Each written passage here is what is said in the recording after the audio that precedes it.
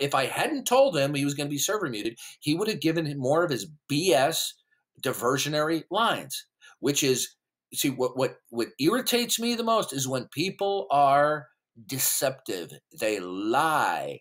Okay, there's nothing more disgusting.